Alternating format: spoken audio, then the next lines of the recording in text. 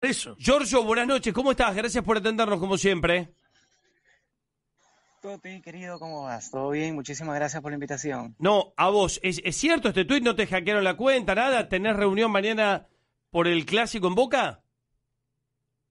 Sí, en realidad no solamente el martes, sino que vamos a estar conversando eh, toda la semana. Eh, a ver, Boca llega muy mal al clásico, como ha llegado los últimos años. ¿No? Los últimos años River es el Real Madrid y Boca es el equipo que le quiere ganar. ¿no? Es la verdad, no podemos eh, mentir. Eh, pero de verdad esperemos que esta derrota ayude muchísimo para el clásico y se destapen los jugadores que se deberían de destapar, en especial Cavani. es, una, es una locura lo de Cavani, de verdad, es una locura. ¿Por qué? Porque con Almirón le metimos debut a Cavani. Un debut muy bueno astrológico, como para que la rompa y meta 10 goles cada tres partidos. Pero lamentablemente no lo hace. Eso ya es, ya es algo interno. Se lo dieron a Borja, ¿Y, y, y, por qué, ¿Y por qué no lo hace? ¿Por qué no la mete Cavani, Giorgio? Yo creo que una, hay dos opciones. Hay dos opciones para mí. Una que es muy generoso, como el gol que se perdió ayer, que en vez de hacerla él quiso dar pase. Porque no. Oye, que la quiso cabecear no al medio para no que la meta otro. Así es, así es. Quiso dar pase para que la meta otro.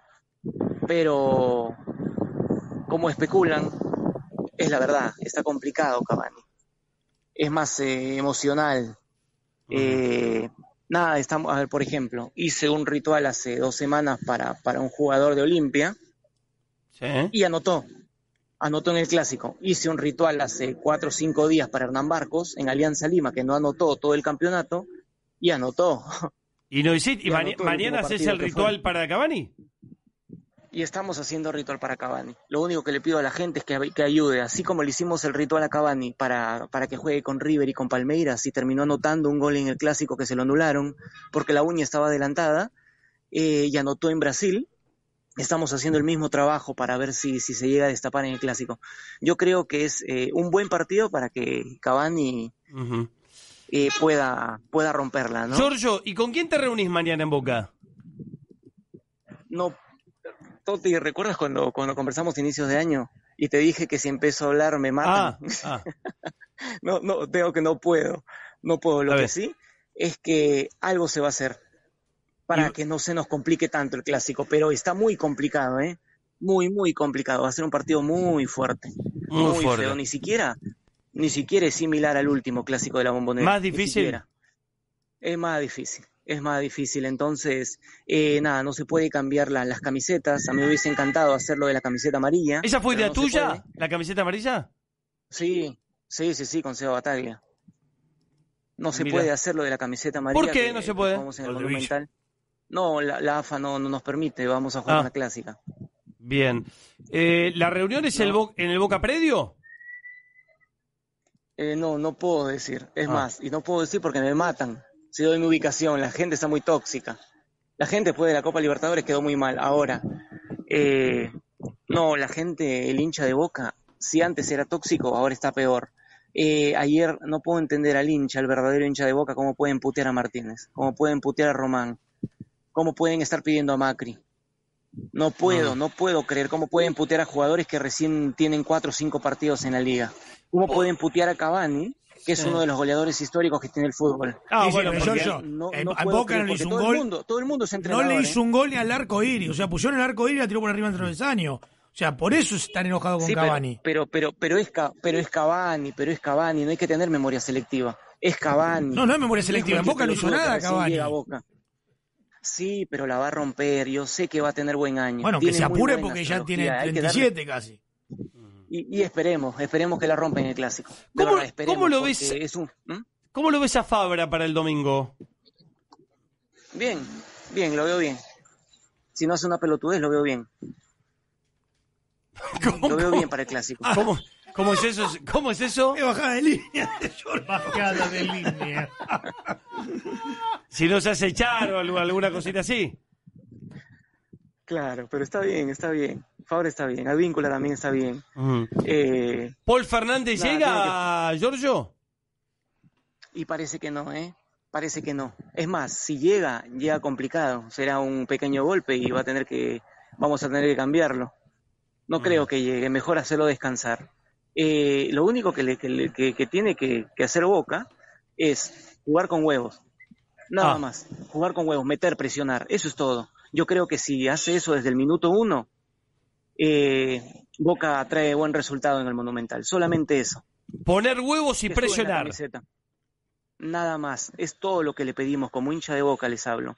Es lo único que le pedimos a los jugadores. Que pongan huevo y presionen desde el minuto uno. Nos estamos jugando una final. Porque si perdemos con River o empatamos, nosotros necesitamos ganar. No Obvio. podemos. eh, no podemos quedarnos con puntos porque ya Lanús se ha puesto cuarto. Estamos séptimos. eh, entonces tenemos que sacar buen resultado en el Monumental si queremos clasificar ¿no? a los playoffs. Entonces, solamente que pongan huevo, que lo hagan por los hinchas, porque los hinchas eh, se merecen una alegría y estamos con la misma cagada de siempre, que, que retrocedemos, jugamos a la nada, tenemos muchos errores. Creo que ahí es momento de presionar y meter huevo, nada más. Ujú. Eh, te felicito. arenga, verdad, qué bien me hace hablar con Giorgio. Me encanta escuchar a Giorgio. Vos tenés una pregunta para él, ¿no? Sí, ¿qué pasó al final con Almirón? Eh, nada, está rompiendo Almirón. Es más, me entrevistaron muchos medios eh, chilenos y, y dije la verdad, que le iba a romper. El tipo está invicto, eh, ganó la Supercopa, ya sumó No, un eso ya lo sé. Yo estoy preguntando este año. Ah. qué pasó, qué, porque de algunos lados dicen que no pertenece al cuerpo técnico, otro que sí. ¿De cuál? ¿Quién no pertenece al cuerpo técnico? No, que en su momento no eras consulta de Almirón, de otro lado dicen que sí eras consulta de Almirón. ¿En qué quedó eso? ¿Quién miente en esta historia? No, y la gente dice cualquier cosa. A mí, a mí siempre dicen cualquier con tontería. Eh, Almirón en la conferencia de prensa, entre verdad y mentiras, dijo muchas más verdades que mentiras, ¿no? Eh, pero bueno, no, no soy quien, ¿no? Para, para advertir esa- esas mentiras. Eh, ahí está. Siempre el tiempo es el amigo de la verdad, así que hay que esperar, ¿no? Ahora que estoy en Boca, ustedes lo sabían. Hace tiempo estoy ayudando a Boca. Hace buen tiempo. Entonces llega el Mirón. eh, nada, se trabajó la Copa Libertadores, se llegó a una final, se perdió lamentablemente, no se pudo generar más. eh, nos dejó tirados. Perdimos con, con Errón la, la Copa Argentina y nos quedamos fuera, ¿no? Ya qué más, qué, qué más historia. Ya él está en Chile, está bien con Colo Colo. Eh, y Boca está con Martínez, ¿no? Todo el aguante para Martínez. Están todos De los verdad, todo el detalles, Giorgio. está muy, me, muy- me encanta. Entonces, para resumir, Giorgio, antes de despedirte, lo ves muy complicado, pero tenés fe que con tu trabajito toda la semana se puede dar vuelta y Boca llegue mejor al domingo. Sí, esperemos, esperemos. Si todo sale bien, como dije hace un mes cuando llegó Martínez, ¿se acuerdan cuando les dije que, que era espectacular que Martínez firme en enero? Sí, Porque me acuerdo. se le iba a complicar las cosas. Perfecto, estamos viviendo esas complicaciones. Che, ¿tenés buena onda con Eh, Martínez? Sí, es muy buena persona, es muy buena persona, pero en realidad eh, nada, es muy buena persona. No puedo decir más, no puedo decir más, porque después termino contando y mañana me matan. Ha- ¿Hablas Pero- mucho, hablas mucho es- con él? Es un, es un tipo, es, no, es un tipo laborador, no puedo decir más, es un tipo laborador y hay que dejarlo trabajar. El eh, tiene que cinco partidos, cuatro partidos y Seis partidos. una derrota. Seis partidos. Seis partidos con una derrota, ¿Sabe escuchar? ¿no? Eh, es un excelente profesional. Mm. es un excelente profesional y lo mejor de todo es que cree mucho en el laburo de los jugadores. No es incisivo con los jugadores y eso es muy bueno. Hay ¿Te gusta que vaya de jogging Sí. como ayer o lo mandarías con traje al Monumental? No, que vaya como siempre, como se sienta más cómodo. Como y siempre. que le meta, que, que los putee más a los jugadores. Eso le falta, que los putee más. Ah, tiene que putear más a los jugadores. Sí, tiene que putearlos más. A veces están medio dormidos ahí. Ah, Y les, y les estoy hablando como, y les estoy hablando como hincha porque sí, sí, sí. el partido de ayer. ¿A quién viste ayer dormido ayer, por ejemplo, Giorgio? A todos. A todos, literalmente, a todos. No, no puedo creer cómo nos hacen ese primer gol. Amo a Bow. Me encanta Bow, pero ese gol, Dios mío, el que nos comimos, ese pase, ese pase creo que, que ni en fútbol 6 cuando juego lo hago. Claro. De verdad, es, es una locura, es una locura. Nos han ganó bien, ganó bien Lanús. Ganó Velano. Y, y esperemos que esperemos que, que Blondel esté, esté bien.